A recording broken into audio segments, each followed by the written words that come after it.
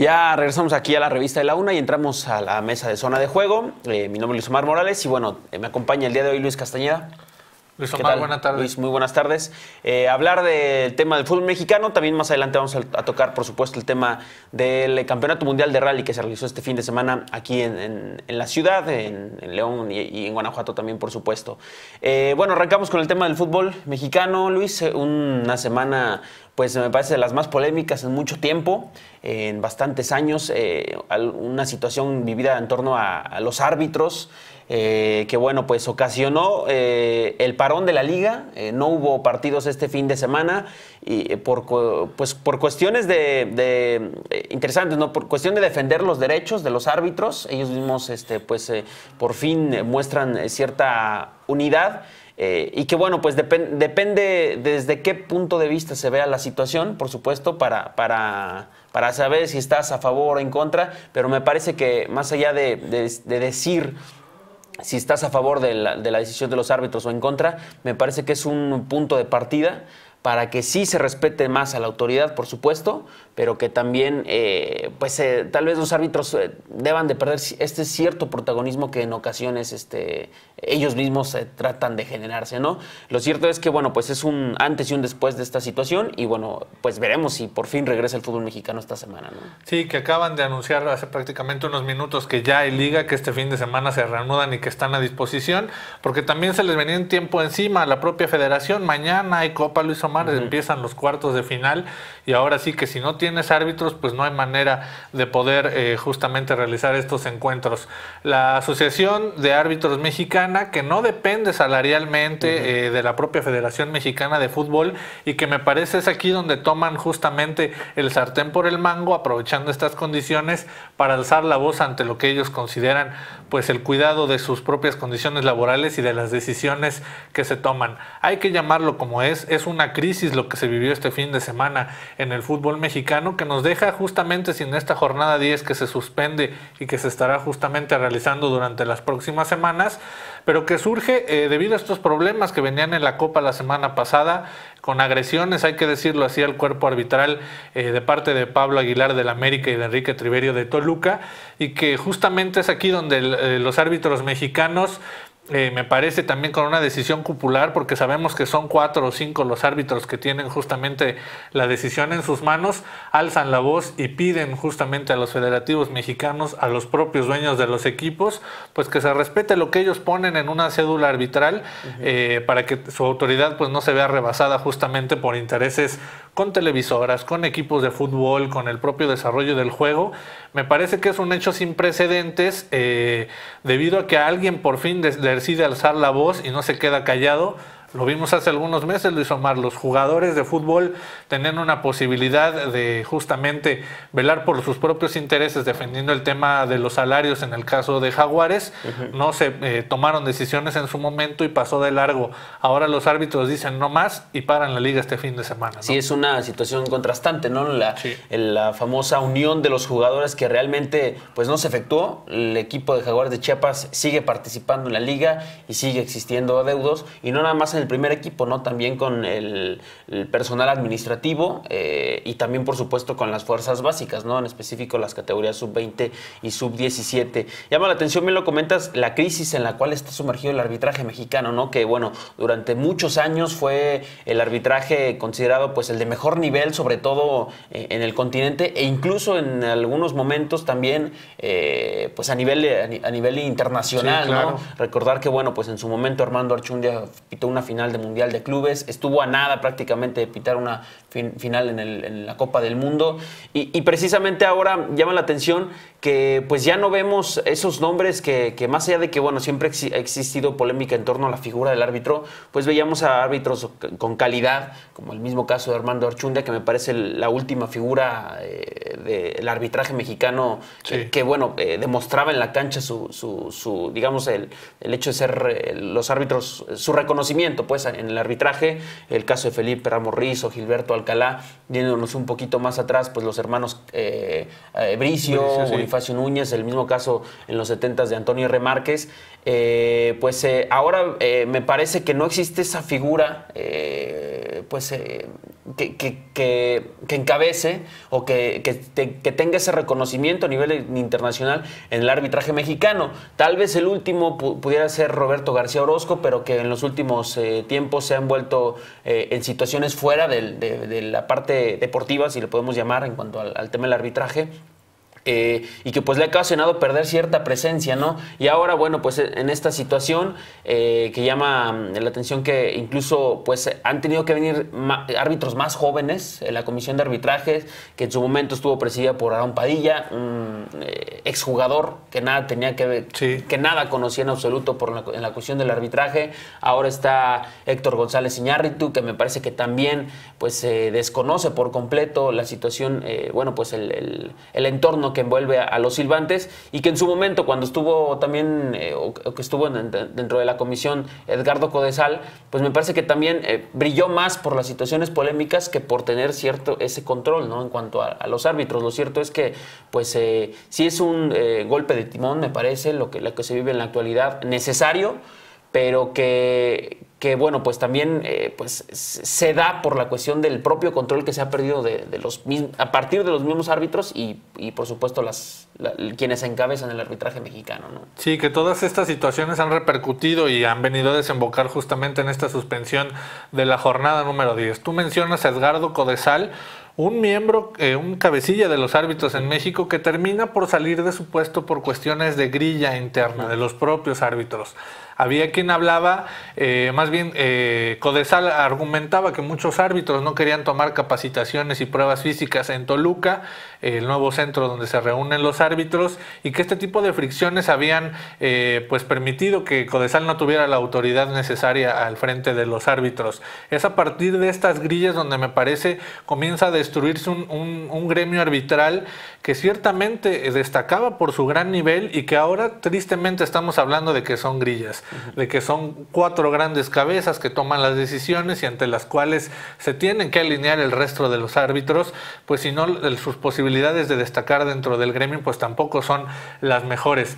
Eh, bien por los árbitros que se unen, a diferencia de los jugadores, ellos sí dijeron, no pitamos el viernes, no pitamos esta jornada y nadie se paró a pitar, me parece bien por el alzar la voz eh, de forma unánime, pero también habrá que ver qué intereses están pisando. No se nos haga extraño, Luis Omar, que haya repercusiones ante esta eh, toma del sartén que han tenido los árbitros, porque este fin de semana las televisoras, los dueños de los partidos y la propia afición mexicana me parece perdieron eh, bastante. Quién gane, quién pierde, el tiempo nos lo dirá.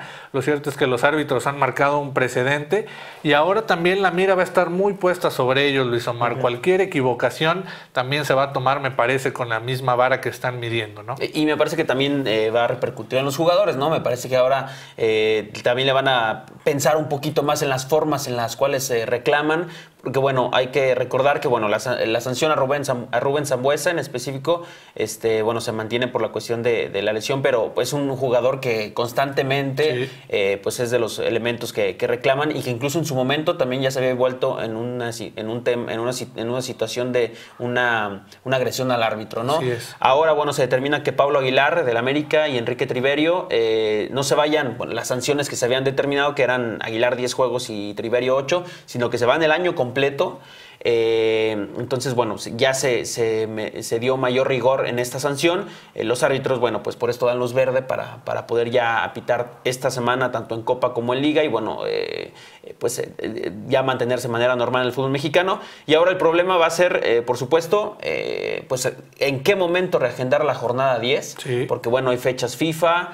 Este, hay actividad de Copa, Pachuca y Tigres siguen activos en la Liga de Campeones de la CONCACAF, entonces eh, pues va a ser medio complicado, por ahí pues se, podría dar que, hubiera mm, entre la jornada 16 y 17, que ya es eh, a finales de, a finales de, de mayo. Sí podría darse esta que se cumpla esta jornada o incluso me parece que también pues tal vez aprovechando que no todos los equipos tienen eh, algunos ya están eliminados en Copa también los que están eliminados el caso de Tigres y, Pumas que, eh, que, están eliminados eh, Pumas Monterrey que están eliminados de la Liga de Campeones pues tal vez podría darse antes pero bueno será complicado ver en qué momento se van realizando estos estos juegos ¿no? sí la liga que tiene un calendario muy apretado el propio León viene fecha FIFA y León tiene un par de compromisos en Estados, Unidos Unidos, por ejemplo, donde pues me, queda claro que no van a, poner los intereses comerciales enfrente de los deportivos. Ciertamente aprieta mucho el calendario y vamos a ver qué deciden eh, los federativos justamente respecto a este tema de los árbitros. Lo cierto es que habrá también eh, que ver, Luis Omar, me parece que los árbitros han perdido autoridad dentro del campo. No puede manotearte un jugador como lo hicieron los de Toluca, no puede Pablo Aguilar tampoco llegar a tirarte un cabezazo, pero tampoco pueden los árbitros eh, alzar la voz y tampoco pueden fanfarronear. Como hemos visto muchos casos, Luis Omar. Los árbitros exigen respeto y ahora tendrán que dar en la misma medida el mismo respeto al espectáculo, a los jugadores, a los propios directivos. Ricardo Peláez, que solamente se queda con una sanción económica, que sabemos después de este juego entre América y Toluca, por ahí va a abordar al árbitro en el túnel hacia los vestidores. Y hace poco tiempo teníamos a Andrés Fassi de Pachuca en una situación muy similar, donde la sanción fue de seis meses.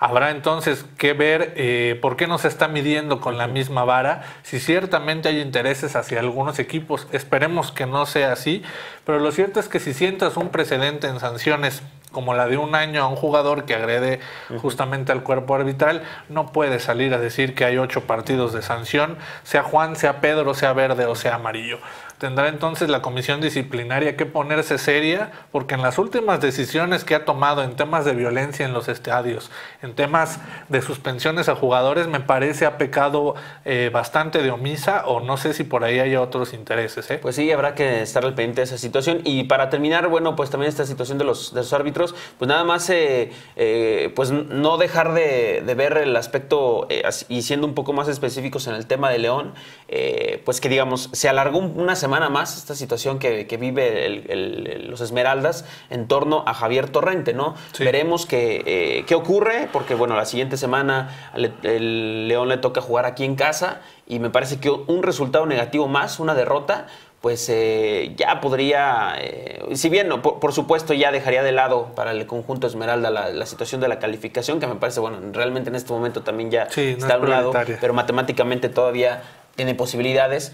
Eh, pero bueno, sí, sí me parece que tendrá que ya venir una acción eh, contundente de la directiva de León en, torno al paso del equipo. Sí, que este fin de semana de parón le viene, me parece, bien al entorno del conjunto de León, porque venías de una semana con temas extracancha por el tema del estadio, venías con la crisis de resultados deportivos en la misma, y al no tener un resultado positivo o negativo ante Jaguares, te da una semana más para maniobrar justamente de no venir una victoria contra Toluca, me parece tendrá justamente, como tú dices, que venir un golpe de autoridad y yo no sé si la figura de Javier Torrente esté viviendo sus últimos minutos. No es un rival sencillo el Toluca para el conjunto de León, como no lo era un rival sencillo Jaguares en su campo.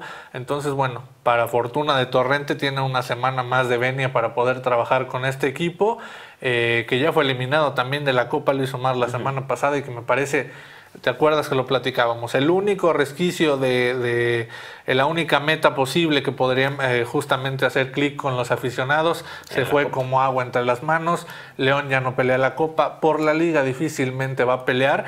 Y ahora también se habla de que sumen la mayor cantidad de puntos para el tema porcentual. Fíjate cómo cambiamos de aspirar a buscar títulos, ahora buscar puntos para no meterte en la quema del descenso. Qué momento tan complicado pues sí, se le da la vuelta a la tortilla y ahora, bueno, pues eh, de pensar estar en los primeros planos, ahora luchar por la permanencia, ¿no? Es el, la actualidad que vive el conjunto Esmeralda, eh, pues en, esta situación a partir de este torneo clausura 2017. Y bueno, pues eh, cambiamos un poquito de tema para hablar ahora del, del Campeonato Mundial de Rallys que se realizó esta, esta semana aquí en León, en, en, Guanajuato, también en Silao, también los, bueno, los tests que se realizaron de manera previa en Irapuato, Guanajuato.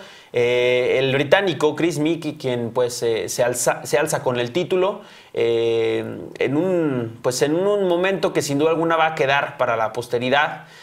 una situación que, pues, una salida en falso que tiene en los últimos, en los últimos metros ya del último tramo, ya para terminar esta, eh, este campeonato y que bueno, pues por poco le cuesta el campeonato mundial al británico, ¿no? Eh, tenía una diferencia de 40 segundos, eh, de 37 segundos aproximadamente y bueno, pues esa salida en falso del tramo redujo de manera considerable y a final de cuentas solamente fueron 13 segundos de diferencia los que pues le permitieron a Chris Mick alzar este título. Es su cuarto rally. En, su, historia y es el primero para Citroën en esta nueva etapa. Para hablar de, este tema, tenemos en la línea telefónica a Omar Hurtado.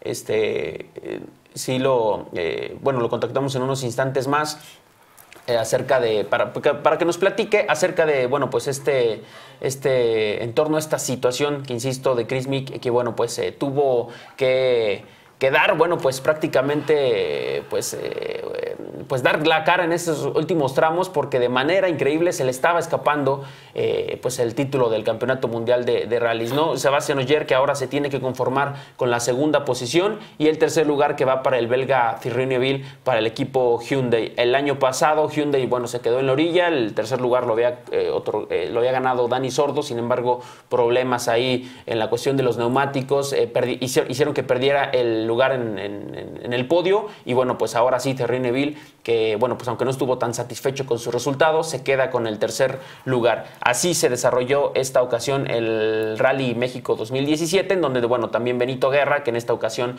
no participó en el campeonato de en la primera categoría, participó en el WRC2. Bueno, se quedó con la tercera plaza eh, por debajo del francés Eric Amili en el segundo lugar y también del sueco Pontus Tideman, quien, bueno, pues el con el campeonato en la segunda categoría del Campeonato Mundial de Rallys. Eh, vamos a, ahora sí, tenemos en la línea telefónica a Omar Hurtado Peinberg, quien, bueno, pues eh, es eh, un especialista en el automovilismo, también, por supuesto, en el rally. para que nos hable un poco acerca, bueno, pues de lo que se vivió en torno al Campeonato Mundial de Rallys en esta ocasión. ¿Qué tal, Omar? Muy buenas tardes. Hola, ¿qué tal, Luis Omar? Amigos de Zona Franca, así es. Buenas tardes. Pues vaya fin de semana que tuvimos. Así es, Omar. Bueno, pues eh, te saluda Luis Omar Morales, eh, Luis Castañeda también aquí en Zona Franca. Pues platícanos cómo se vivió esta semana, eh, este fin de semana, el Campeonato Mundial. Una definición, pues dramática, ¿no? Lo que se vivió con el británico Chris Mick, quien, bueno, pues estuvo a nada de perder el campeonato en esos últimos kilómetros del Power ¿no? Sí, vaya, me parece que en términos generales, si queremos hacer un análisis de lo que fue esta tercera fecha del Campeonato Mundial de Rallys en México, en el Rally el Rally México-Guanajuato. Me parece que es un rally completamente atípico, un rally hasta cierto punto diferente a lo que hemos estado acostumbrados a ver durante más de 14 años, que es fecha mundialista, hablamos del 2004. Eh, obviamente con la parte de la arrancada que fue en la Ciudad de México y con esa situación que fue eh, complicada, ¿no? Para todo para toda esta situación en cuanto a los movimientos y la logística que hubo en el rally. Me parece que eh, fue una, un rally de verdad eh, inesperado, pues también por quienes eran precisamente eh, el ganador, en este caso por Chris Vick. Nadie esperaba nada precisamente de Citroën después de las dos primeras fechas, tanto en Suecia como en Monte Carlo, en donde el C3, que es el auto que ha manejado el norueganés este fin de semana en la ciudad de Long, Guanajuato y los alrededores también, no tenía condiciones para ser competitivo, sin embargo llegó aquí a México y increíblemente encontró competitividad en el fin de semana, en el checkdown, encontraron los caballos de fuerza que estaban perdiendo, encontraron precisamente también esa solidez que le hacía falta al auto y fue el único de los autos, también hay que decirlo, el Isomar, que no experimentó problemas de sobrecalentamiento a lo largo del fin de semana, porque tanto tanto M Sport con los Ford Fiesta, así como así como Hyundai y también Toyota eh, tuvieron problemas con la altura y con el sobrecalentamiento a pesar de que fue una fecha que no pasó por mucho calor. Fue un, campeonato mundial, eh, bueno, una eh, tercera etapa del campeonato mundial 2017, atípica, bien lo comentas Omar, por esta situación de Chris Mick, quien bueno destaca cuando no era uno de los favoritos, pero también por la situación que se vivió con la arrancada, ¿no? En la Ciudad de México, un retraso ahí en la carretera, en, la México Querétaro, después de, de la arrancada oficial allá en el Zócalo Capitalino, que obliga a cancelar las eh, los tramos 3, eh, eh, bueno, el 2 allá en, el chocolate y también el número 3 en las minas. esto ocasiona que, bueno, se, suspenda el bucle matutino, pero que, bueno, pues a final de cuentas, bueno, perjudica un poco al, desempeño de los pilotos, pero que me parece que en términos generales alcanza a solventar este, pues ese trago amargo, ¿no? Que fue la suspensión de estos dos tramos. Sí, vaya, ¿qué te puedo decir? La verdad es que la arrancada me parece que es un acierto por parte de la organización, a pesar de que para mucha gente le eh, fue algo inesperado, obviamente porque por el ambiente que se vio en la ciudad de, Guanajuato capital, sobre todo los días jueves cuando arrancaba el rally allá precisamente. Eh, la complicación mayor fue que también como lo hemos dicho atípicamente, tres accidentes de camino para la ciudad de, de, Ciudad de México hacia la ciudad de León en la carretera México-Querétaro. Te comento igual, yo pude estar ahí, nosotros salimos eh, después inclusive de, la, de las nodrizas que ya transportaban al contingente de 26 autos hacia la ciudad de León, Guanajuato para arrancar en el chocolate al día siguiente, sin embargo, eh, vaya, la de, algunos, algunos autos y camiones tomaron la desviación precisamente hacia la carretera libre y me parece que todos los problemas, tengo entendido, fueron en la carretera de cuota, donde precisamente eh, quedaron varados durante un buen rato y eso fue lo que vino a dar al traste. Hay que, hay que decirlo, Luis, eh, Luis Omar, no es una cuestión que, haya quedado fuera de logística, me parece que es una, y es una cuestión eh, que también la FIA determina con el organizador en este caso de que si hay alguna contingencia como la que se vivió el pasado fin de semana aquí con este con la transportación de los World Rally Cars pues eh, está dentro de dentro de ese rango de acción que tiene un organizador para poder hacer bien un rally en este en este sentido eh, pues vaya, los autos, hay que decirlo, llegaron aquí a León aproximadamente a las 10 de la mañana. Había el tiempo suficiente como para poder retrasar con media hora, 45 minutos el tramo, que es algo que está dentro del, dentro del tiempo estimado que tiene precisamente el organizador como para poder realizar estos cambios. Lo, y desafortunadamente, antes de haber tomado la decisión por parte de los organizadores mexicanos, hay que decirlo, no fue una situación directamente competente a la FIA en la que en la que hubo eh, precisamente esta situación, ¿no? Pero la verdad es que hay que decirlo, me parece que llegaron arañando el tiempo pero la situación precisamente tomada por, por Rally México me parece que fue acertada y la verdad es que después con la, con, la, con las nubes que había aquí en México y con la, y con la incertidumbre de ver estos nuevos Go Rally Cars en tierra era, era toda una duda lo que pudiera suceder. ¿Qué alternativa puede venir, Omar? Porque, bueno, pues es complicado que se realice de la misma forma, ¿no? Que, se llevó a cabo esta, esta, en esta edición por los riesgos que, puede, que pueden existir, ¿no? Eh, sabemos que la situación de la arrancada en la Ciudad de México, pues viene, tiene que ver también con temas eh, económicos, ¿no? Porque, bueno, sabemos que los campeonatos se, encarecen, también influyen mucho los apoyos que vienen de parte de las autoridades. Eh, ¿qué, ¿Qué alternativa podría venir? Porque incluso, bueno, podría venir tal vez modificar la hora de la arrancada, no sé qué ahora en la Ciudad de México, no sé, que sea un tramo únicamente, no sé, ¿qué, alternativas podría haber? Mm, mira, todo parece indicar que la arrancada, la intención del Rally México será que nuevamente se realice en la ciudad, allá precisamente en la capital del país. Sin embargo, habrá que analizar precisamente cuáles son esas situaciones. Eh, lo comentaba precisamente con algunas gentes que con las cuales hemos tenido contacto de WRC y mencionaban que tal vez sería la cuestión de que obviamente los autos fueran transportados vía aérea. Esto encarecería bastante la, o pondría muy complicada la situación para que los autos viajaran a la Ciudad de México. Sin embargo, también existe la posibilidad de que eh, los autos viajen eh, precisamente, eh, bueno, el evento en, en Ciudad de México se hiciera un poco más temprano. Aquí el detalle por el cual me parece que hubo algunos detallitos que hay que considerar, es porque no había, no había suficiente iluminación y porque la gente del rally esperaba que, la, que precisamente a las 6 de la tarde, una hora en la que mucha gente sale, de, sale precisamente de, a comer o termina sus labores en la Ciudad de México, pudieran acceder al Zócalo Capitalino para ver el espectáculo de los World Cars. La entrada me parece aceptable y pues bueno, será cuestión de ver qué, qué arreglos hay con FIA, ¿no? Pero me parece que que si llegara a ser un poco más temprano el tramo, tal vez un viernes o tal vez en, algún otro momento podría ser, aunque fuera del jueves, me parece muy complicado. Yo veo con un 70% muy complicado que pueda regresar a la Ciudad de México, aunque obviamente habrá que ver eh, qué voluntad hay por parte de, por parte del gobierno de Miguel Ángel Mancera y también por la por la parte de la de la FIA, ¿no? Como para que esto vuelva a suceder porque me parece que el impacto que tendrá o que tuvo en Ciudad de México fue importante para el rally para el rally de Guanajuato. Por, último, Omar, eh, que nos platiques la situación de Benito Guerra, porque bueno, pues eh, para este año eh, ya no participó en la primera categoría, en, la, en el WRC 2, que bueno, hace unos años Benito Guerra, bueno, se, se, llevó el título, ahora está compitiendo pues con dos rivales rivales de, suma, de suma complejidad, ¿no? Como es el sueco Pontus Tideman, que se llevó el título aquí en, México, y también del el francés Eric Camilli. sobre esa situación sobre Benito Guerra y también la cuestión del campeonato de Nakam, que bueno, me parece que también influyó mucho en la situación de, la arrancada, ¿no? Porque bueno, cuando todavía había luz de día, le tocó correr a los pilotos de Nakam, a los que, bueno, sabemos que, no tienen la, misma calidad que los de, primera categoría. Y cuando ya se hizo de noche y ya no había tanta, tanta iluminación, eh, pues fue cuando les eh, tocó correr a los, a los del WRC, ¿no? A los primeros, eh, a los pilotos de primera categoría.